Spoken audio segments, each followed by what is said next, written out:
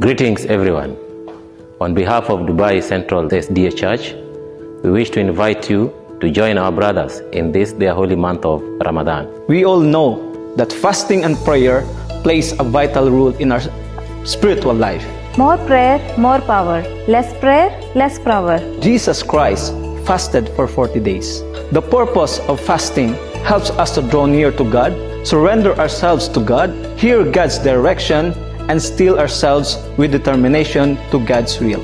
Fasting is identified as one of those key elements that help a Christian to develop the virtue of discipline and also to have a closer relationship with God.